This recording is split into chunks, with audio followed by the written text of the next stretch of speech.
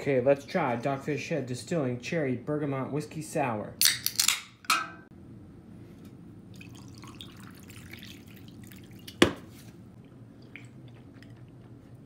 Well, it doesn't taste like a whiskey sour. It tastes like whiskey, sort of.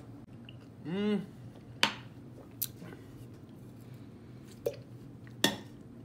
I don't know. I don't know. I can't call it. Flavored with oak chips. It doesn't.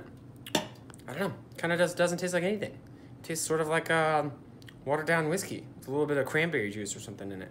It's very strange. Stick to the beer. Their beer's good. Buy their beer instead. Don't buy this.